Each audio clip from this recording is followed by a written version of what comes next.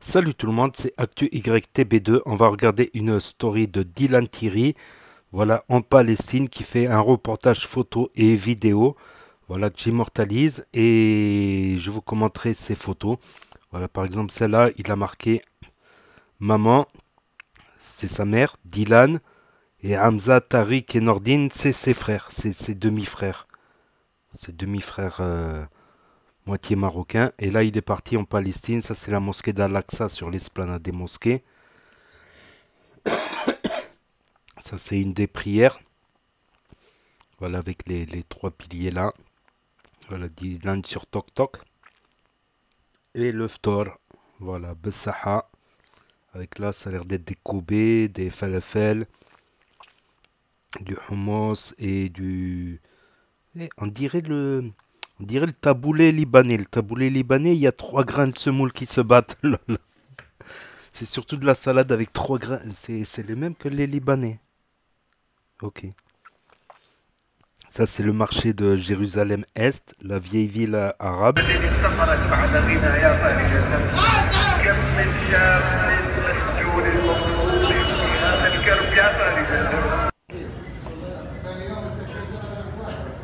عملنا شيء ما عملنا شيء يعني بس انت مشاهد نزور اه نزور انزل هلا من هنا انزل هنا اطلع على سي اوفير لابا لف لف لف وروح عليهم اه يعني زياره ما فينا نروح الا مشي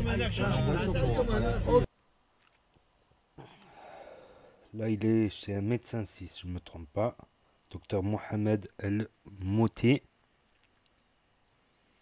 Et là, il y, a, il, y a, il y a une longue série de photos, je vais vous commenter. Je vais vous traduire certaines paroles. On dirait le mur de Berlin à l'époque.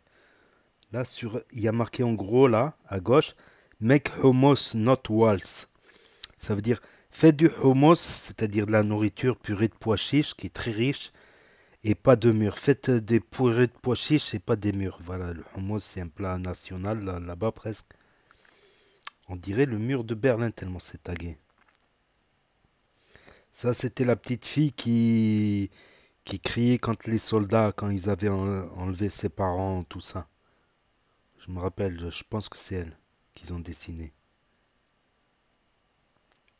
Voilà, avec un oiseau en cage, c'est l'oiseau de. C'est l'oiseau de, de la liberté qui est en cage. Là, ils ont fait ce mur suite à la deuxième intifada et aux nombreuses attaques. Donc là, il y a marqué en anglais, je vais essayer de vous le traduire. Wall Museum, musée du mur. This is a series of posters with true story written by Palestinian youths. C'est une série de posters avec des histoires vraies écrites par des jeunes Palestiniens. The stories of suffering and oppression as well as sumud. Les stories de la souffrance et de l'oppression comme sumud steadfastness or resilience. La résilience ou l'autre mot j'ai pas compris. Inner strength and cultural identity are here to bring out the truth of Palestinian life. Ça veut dire euh, euh, la taille de la culture, de l'identité sont ici pour donner la vérité au, à la vie des Palestiniens, which this world tries to hide and kill. This project is made possible through spons sponsorship. Ce projet euh, mural est, est, possible grâce aux sponsors. Bref, c'est plutôt des tags que des graffitis. C'est un peu moins joli, mais le mur, il est horrible. ils ont fait ce mur euh, suite aux nombreuses attaques kamikazes. L'un truc que je trouvais intéressant, il y a marqué Hair, Hurley. Ça, c'est des Irlandais en fait. Les Irlandais, de manière, ils écrivent souvent en vert. Donc il y a des Irlandais qui sont passés là aussi et qui ont tagué l'air, c'est le le nom de l'Irlande en fait. I went to Palestine and all I got Was, bon, il n'y a pas toute la phrase. Free Palestine, liberté en Palestine, tout ça. Je trouve vachement intéressante cette série de photos. Elle va être longue et après il va y voir les vidéos. Ça aussi c'est un joli dessin, voilà. Pour dire que le cœur, il est plus lourd que les armes. Il est plus fort que les armes. Là on dirait la Vierge Marie, Yam, avec Aïssa. Attention, balistique, protection. Ouais, C'était la terre de la Vierge Marie. Enfin, Vierge pas pour les protestants ni pour les musulmans, mais le Marie et son fils Jésus. C'est un autre débat, c'est pas. Palestino. Ça, c'est des trucs de supporters de foot, ça. On voit un ballon au-dessus. Faites du hummus, de la nourriture, pas des murs. Là, la, mosquée Al-Aqsa, sur l'esplanade des mosquées. Les drapeaux palestiniens, les rues. Ça, c'est les fameux danseurs euh, palestiniens. C'est quoi ces bidons de... Ah, peut-être un vendeur ambulant dans la rue. Tout le monde essaie de gagner sa vie, de gratter comme il peut là-bas en Palestine, comme dans les pays pauvres, comme les plus pauvres dans les pays. Euh,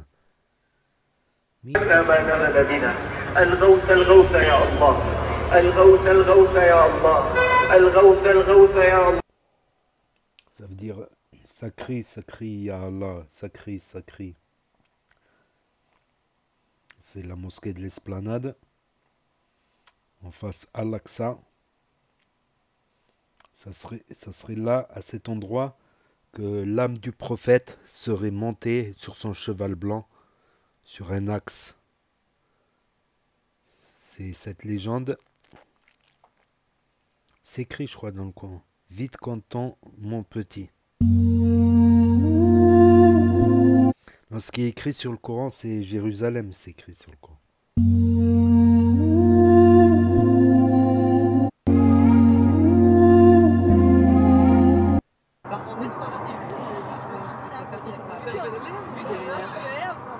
Fait deux heures de route, je suis éclaté. Regardez les tout ça là, tout ce que vous voyez là, c'est des impacts de balles. Tout ça là. Impact de balles partout. C'est une dinguerie. Là, là, là, là, là. Ils se font tirer dessus de chez eux. Là les amis, ça c'est des, des martyrs qui sont morts euh, le 16 mars. En fait, euh, les Israéliens ils ont réussi à rentrer ici, dans un, un camp palestinien. Ils ont détruit le mur là, ils ont essayé de casser le mur. Ils rentrent avec des chars et tout ça. euh. Enfin, c'est une dinguerie. Là, vous avez aussi des martyrs aussi là-bas. Il y a des morts. Euh, c'est tombé. C'est beaucoup sont des combattants. Il y a aussi des civils dans le tas. Il y en a, c'est des combattants. Il y en a, c'est des combattants. Il y en a d'autres, c'est des civils. Malheureusement. Un père, il a perdu son fils il y a, ouais, il y a un mois. Et il a la, il a foi en Allah. Il n'y a que ça qui le fait, qui le fait tenir en vrai. Ces cris de haine venant d'un pays pour un simple mot, la ilaha illallah. Ils démolissent les quartiers, torturent nos enfants, brûlent nos mosquées. Aucune pitié parce que t'es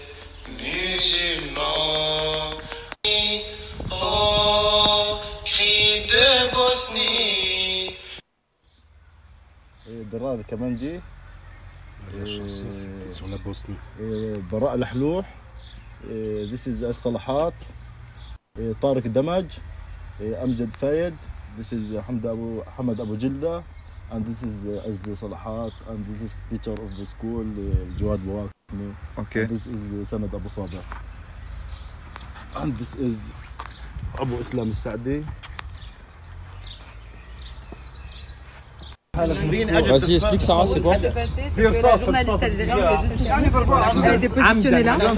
Les soldats euh, israéliens étaient là. En fait, ils lui ont tiré dessus volontairement alors qu'elle avait le gilet presse. Ah ouais Et ils ont accusé ensuite par la suite les habitants ici de Génine, comme quoi c'était eux qui l'avaient tué, sauf que techniquement c'était impossible parce qu'il n'y avait que des soldats qui étaient là. Les habitants, c'était tout ça. اللي مقتله الشاب اللي فات ينقذها اللي مقتله يتيمه انتبهتوا انتبهتوا Ouais, ouais, ouais. انتبهتوا les, les, jeunes, ils étaient de l'autre côté. Ok. Les, militaires, ils étaient au milieu. Ok. Donc en fait, il n'y avait, pas de raison de tirer par ici. Ouais, ouais. de l'autre côté. Ok, ok. Ils ont tiré exprès. Pour eux, ils, ils ont fait exprès. exprès. Ils. C'est qu'il y a un garçon qui est arrivé, qui est sauté d'ici. Il a tiré pour la sauver. Pour la, sortir. Mais en fait, au final, ils l'ont tiré aussi. Ils bah, tiré dessus. Ah ouais. Ah ouais. Là, on est avec un mec qui nous explique que euh, là, ça fait, euh, ça fait plusieurs années, 3-4 ans, que ça fait pas deux mois où tous les jours ils se font. Tous les deux mois, ils se font attaquer au moins une à, une à deux fois, parce qu'ils veulent prendre leur terre. Et là, vous avez que, que, que des martyrs face à nous, c'est une dinguerie, vraiment, c'est, c'est triste. hein. Même hier, il y a, hier, il y a une histoire qui m'a touché. Genre, il y a, il y a une sœur, elle s'est mise devant son frère.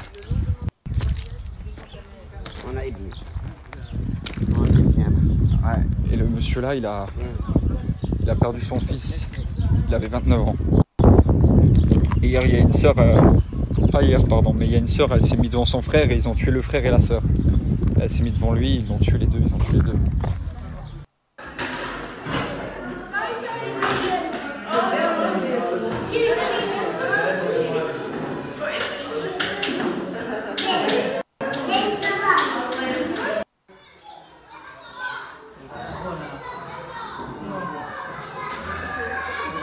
Les amis, je vous explique, ce cheval, il a été fait avec, euh, avec des ambulances qui ont été explosées au, au lance-roquettes.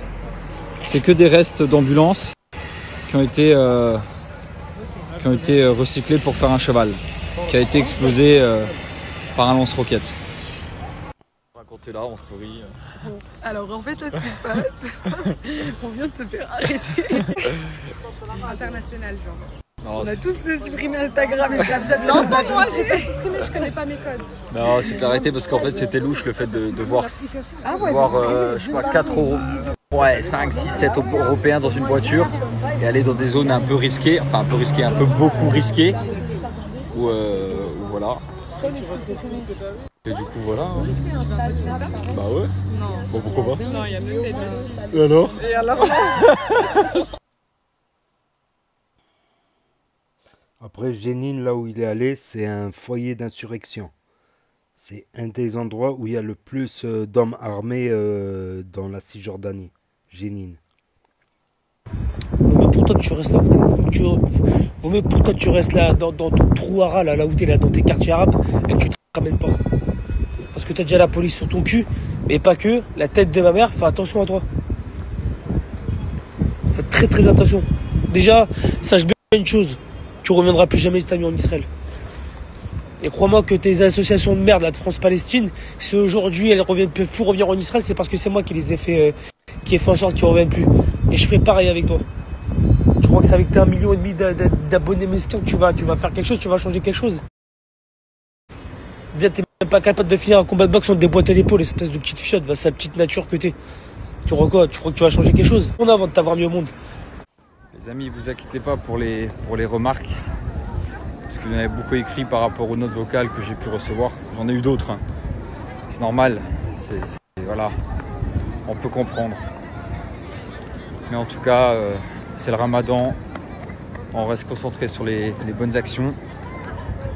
Et je suis dans un des lieux les meilleurs du monde. Magnifique, la Palestine, j'aime trop. Les gens sont tellement accueillants ici. Et tous les soirs, on vient ici, c'est incroyable. Ça apaise les cœurs de ouf. Et pourtant, aujourd'hui, on était au courant de. On nous a raconté des histoires.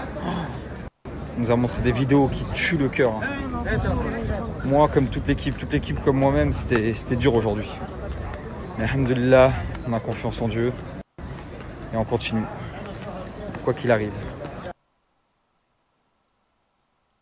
Donc voilà, moi je relaye euh, sa story parce que c'est une actu, c'est simplement une actualité. Voilà. Espérons que toute ta famille que t'es en train de protéger, tu sais même pas t'as qui en face de toi, espèce de blonginette. Bon, les amis, je viens de terminer euh, la prière du soir. Et euh, c'est. euh, aujourd'hui, euh, j'étais euh, dans une zone et euh, on a eu des histoires de certaines personnes qui me racontaient. On a vu un, homme qui, avait deux balles et qui était totalement cramé dû à un- une explosion qu'il avait eu. On a vu, il était dans un état, euh, voilà, je passe les mots. Et une autre maman, euh, une maman qui nous expliquait, écoutez bien cette histoire. hein. Une maman, elle nous dit, elle a trois enfants. Elle a trois enfants, un qui est mort, un qui est en prison en train de se faire torturer et un, euh, et un qui, est, euh, qui est malade, qui est, qui est blessé, qui est totalement blessé. Et euh, la, ma- la- la maman, elle nous raconte ça et elle pleure en même temps. C'était tellement touchant. J'imaginais avoir trois enfants, un mort, un blessé et un en prison. Elle nous a dit ça, on est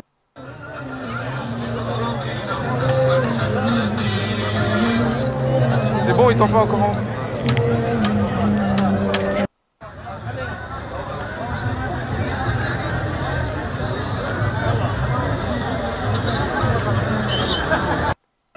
Petit jus de vitamine avant de dormir. De quoi pas dormir Ah ouais, là on prend des vitamines juste avant d'aller dormir, c'est incroyable. Viens, viens dans le centre d'Israël au lieu de te cacher. Snap ton billet d'avion. Merci à notre bénévole Hassan, deuxième mission, Alhamdoulilah. Je sais pas franchement s'il peut être interdit de revenir en Israël parce que euh, forcément pour aller en Cisjordanie, il faut passer par Israël. Voilà, faut un mobile aussi. Euh, la visite de l'esplanade des mosquées peut être un mobile. Mais est-ce qu'ils ont quelque chose euh, juridiquement parlant pour l'interdire? Ils peuvent, ils ont déjà interdit des gens qui sont qui ont des maladies mentales de- d'accéder en Israël, comme Sylvain Durif. Alors que lui, Sylvain Durif, c'est un illuminé qui pensait euh, combattre les extraterrestres pour euh, faire la paix dans le monde et la paix entre eux. Mais euh, il a été interdit parce qu'il est instable mentalement. Donc ils peuvent vous t'interdire de- d'aller sur le territoire israélien pour X ou Y raison. Voilà. Après, après, quand il parle des martyrs, des gens qui sont morts, il y en a qui sont morts les armes à la main, je, je tiens à le rappeler. Il y en a qui sont morts les armes à la main. Et il y en a qui sont de simples civils qui ont pris des balles perdues. Ou cette journaliste d'Al Jazeera, cette journaliste d'Al Jazeera euh, qui, est morte dans des circonstances assez floues. Voilà, on va pas se cacher derrière notre petit doigt, il y a des bavures aussi. Certes, à Jénine, c'est un foyer d'insurrection où il y a beaucoup d'hommes armés qui des fois paradent. Aussi, beaucoup de gens sont contre la colonisation en Cisjordanie, voilà, qui piquent parfois des terres agricoles qui servent à nourrir les Palestiniens pour construire des colonies israéliennes. Donc moi, je suis contre la colonisation. Voilà, je suis contre euh, les bavures aussi. Voilà, mais force est de constater que s'ils ont construit ce mur, c'est à cause des attaques kamikazes. Et on s'éloigne euh, du rêve d'Arafat d'un seul pays où les trois religions vivraient en paix. Comme il y a des juifs marocains qui, qui disent justement qu'au Maroc, ils vivaient bien et que c'est un exemple, par exemple, pour... euh, c'est un exemple du vivre ensemble parce que euh, y a, y a actuellement y a actuellement 5 millions d'habitants palestiniens arabes en Palestine, en Cisjordanie et à Gaza. Et il y a aussi 5 millions de Palestiniens qui vivent en dehors, c'est-à-dire en Cisjordanie, en Syrie et au Liban principalement. On retrouve quelques camps de quelques camps palestiniens en Égypte aussi et en Irak. On en retrouve aussi en Europe, en France, très peu, plutôt en Angleterre parce que c'était anglophone. Donc tu peux retrouver plus de Palestiniens en Angleterre et aux États-Unis. Dans certains se sont insérés, certains sont docteurs, certains sont ingénieurs, certains d'autres pas. Mais, mais voilà, c'est triste ce qu'il arrive parce que quand il y a des actions comme ça à Jénine, des tirs, ben, Gaza menace de relancer des missiles, de rouvrir une guerre. Et c'est pas une solution à l'heure actuelle Parce que faut pas se cacher derrière son petit doigt. Quand Gaza, ils, envoient euh, des, des missiles, des fois, ils font pas de tuer. Ils font, ils font quelques dégâts matériels. Tandis qu'Israël rase des immeubles. C'est la, la réponse aussi israélienne, je la trouve disproportionnée.